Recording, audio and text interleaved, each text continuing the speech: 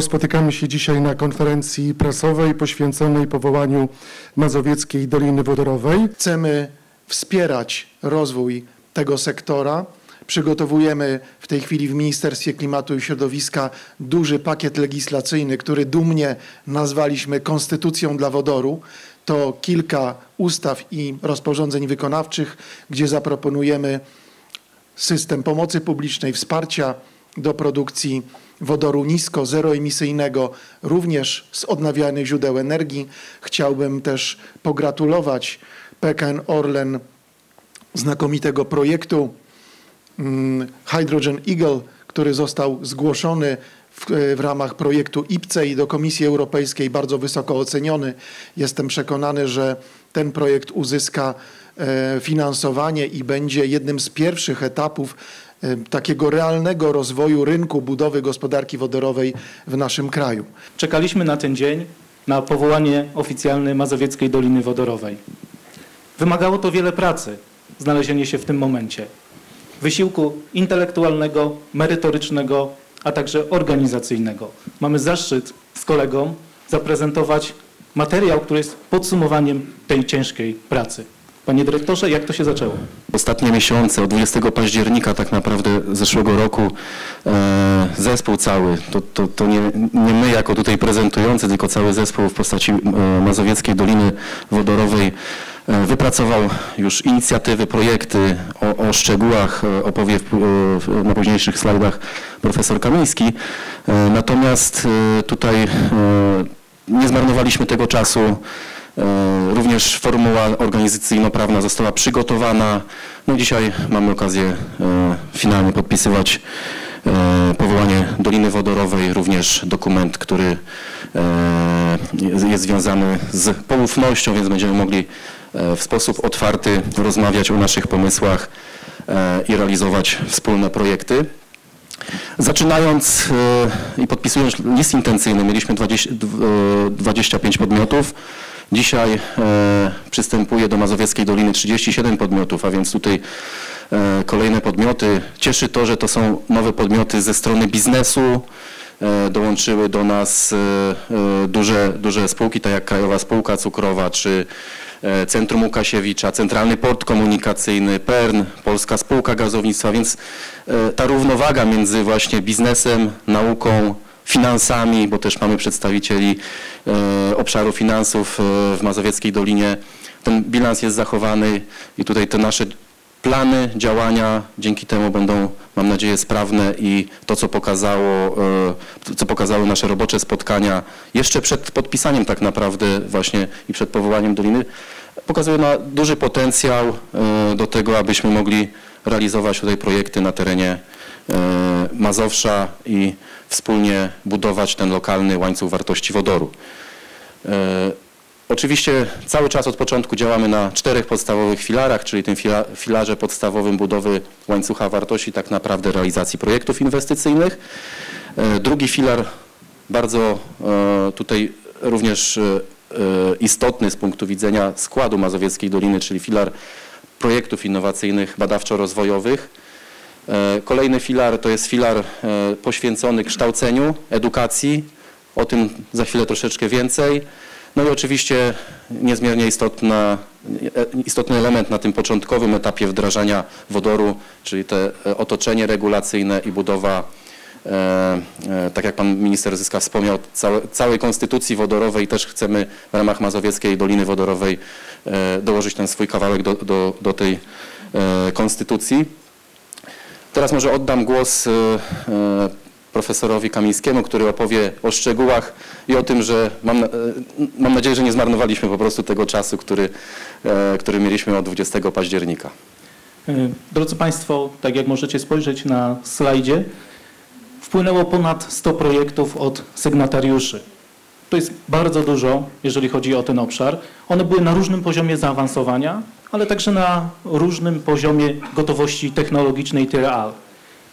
Posegregowaliśmy te projekty. Następnie druga faza, odbyliśmy spotkania bardzo merytoryczne, długie. Dziękuję, osobiście mogłem w nich uczestniczyć. Pokazaliście mi swoje laboratoria, swój potencjał, swoje zasoby.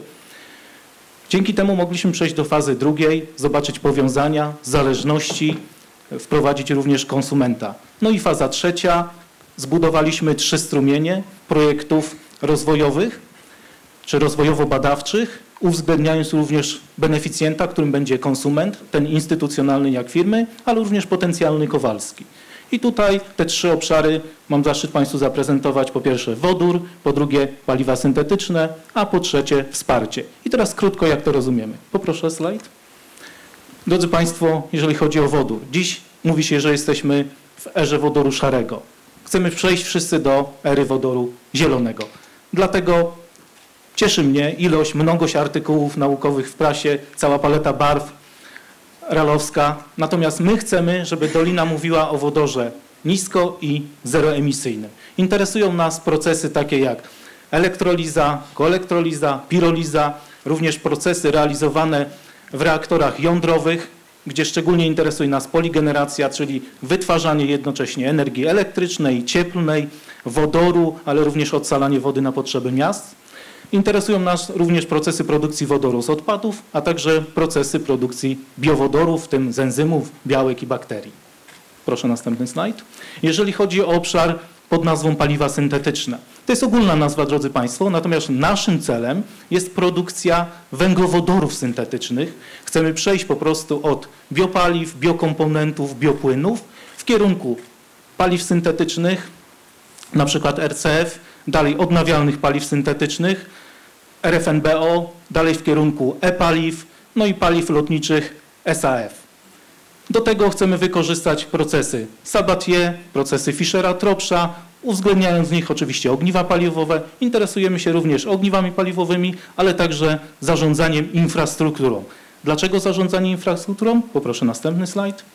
To jest nowy projekt zainicjowany przez pana prezesa Józefa Węgreckiego, Chcemy tutaj, to o czym pan minister Zyska mówił, przejść z gospodarki linearnej na gospodarkę cyrkularną, wprowadzając nowe elementy do łańcucha wartości związanego z gospodarką. I jak państwo widzą, wykorzystamy surowiec, jakim będzie emitowane CO2 z przemysłu, z miast, plus zielony wodór i z tego będziemy wytwarzali węglowodory syntetyczne. Następny slajd.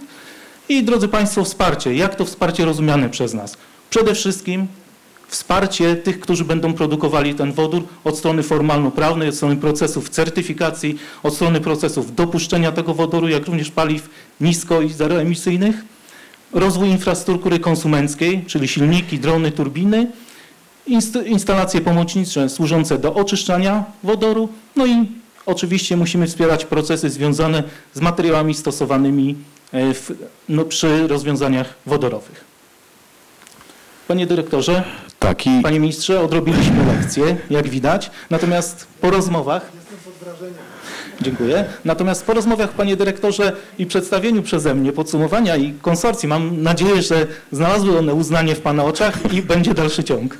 Oczywiście tutaj nie muszą znaleźć e, uznania w moich oczach, bo pracujemy nad tym wszyscy tutaj w ramach Mazowieckiej Doliny i to cały czas należy podkreślać. Natomiast ja chciałbym tylko przedstawić i podsumować te główne wyznaczniki, bo musimy pamiętać, że głównym celem powoływania dolin wodorowych w Polsce jest to, aby tworzyły się takie inteligentne specjalizacje charakteryzujące każdą dolinę i my po, po właśnie po rozmowach z Państwem, po tych pierwszych spotkaniach warsztatowych e, zdefiniowaliśmy tak naprawdę trzy obszary, w których e, chcielibyśmy zaznaczyć szczególne, szczególne zaangażowanie w tym początkowym etapie. E, I to są właśnie obszary związane z realizacją zintegrowanych projektów produkcji e, węglowodorów syntetycznych, a więc e, technologie wykorzystujące wodór nisko-zeroemisyjny do, do produkcji węglowodorów syntetycznych, tak jak pan profesor mówił, e, mogą to być e, paliwa, ale może to być również surowiec do petrochemii, więc tutaj e, mamy e, duże grono naukowców, którzy na pewno nam pomogą badać e, jakość tych strumieni i właściwie zagospodarowywać w naszym łańcuchu wartości e, e, naszych rafinerii petrochemii. Drugi obszar to chcemy uruchomić Akademię, Akademię Wodoru i Nowoczesnych Technologii. To jest inicjatywa, e, która, nad którą pracujemy dłuższy czas. E, tutaj wspólnie z ARP-em, z, z, e, pani Anna Szustakiewicz koordynuje e, generalnie naszą pracę i dzisiaj jesteśmy na takim etapie, że już wkrótce ogłosimy tę Akademię Wodoru, jako projekt dedykowany w pierwszej kolejności dla studentów. Chcielibyśmy właśnie skoncentrować się na budowie tych fundamentów, bo musimy pamiętać... tylko panie dyrektorze?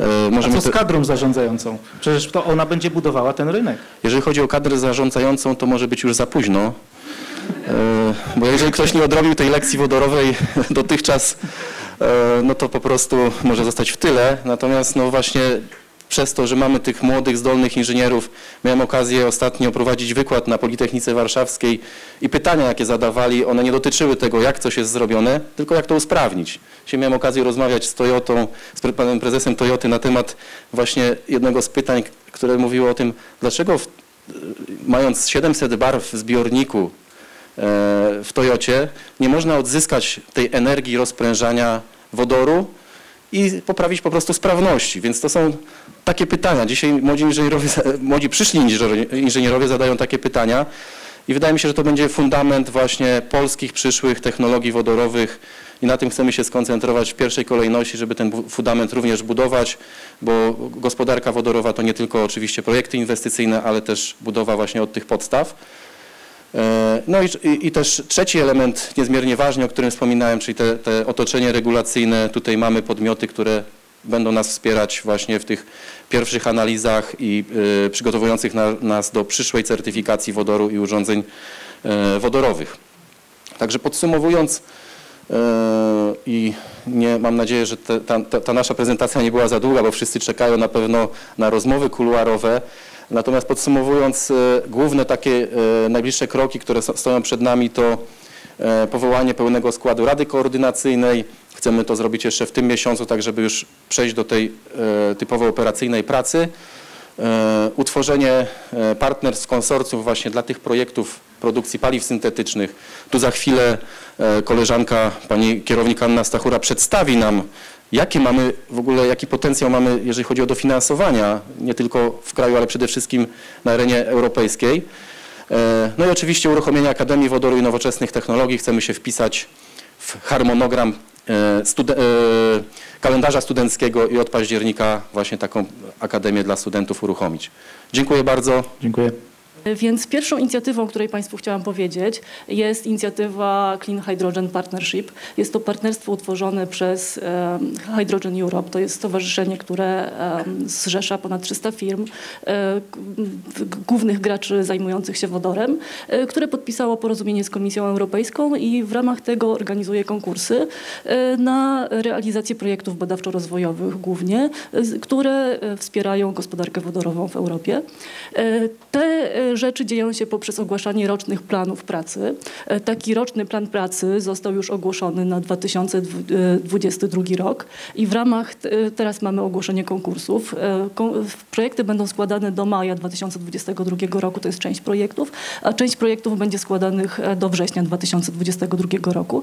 Jak widzicie Państwo, środki są olbrzymie, 300 milionów euro E, i mamy e, podzielone konkursy na produkcję zeroemisy- zeroemisyjnego wodoru, e, magazynowanie i dystrybucję wodoru, transport, energię cieplną, elektryczną, e, cross-cutting, czyli to są takie projekty przekrojowe i doliny wodorowe, o których Państwu powiem e, więcej za chwileczkę. E, Tak, żeby mniej więcej powiedzieć o poziomach dofinansowania, które można uzyskać w ramach projektów składanych w, w, w ramach inicjatywy e, m, Clean Hydrogen oraz w ogóle projektów składanych w ramach e, Horyzontu Europa, głównego takiego funduszu Unii Europejskiej, który zajmuje się współfinansowaniem prac badawczo-naukowych. E, Mianowicie, tak upraszczając bardzo, projekty, które są na poziomach od 0 do 5 TRL, możemy uzyskać dofinansowanie do 100% kosztów kwalifikowanych inwestycji, więc jest to bardzo duże, e, duże dofinansowanie prac tych podstawowych badawczych. E, Projekty, które są już na wyższym poziomie TRL e, od, 5, od 6 do 8. e, Możemy dofinansować w wysokości między 50 a 70%, jeżeli chodzi o podmioty prowadzące działalność gospodarczą. Dla uczelni i e, instytutów badawczych i podmiotów non-profit jest to praktycznie 100% kosztów kwalifikowanych oraz takie e, konkursy dotyczące akcji wspierających, propagujących różne działania przyczyniające się do realizacji celów klimatycznych Unii Europejskiej do 100% kosztów kwalifikowanych. Te konkursy ogłoszone w ramach Clean Hydrogen Europe właśnie trwają, więc jak najbardziej można aplikować. My też służymy wsparciem. E, w informowaniu na ten temat jak, jak, jako Dolina Wodorowa, jako lider Doliny Wodorowej.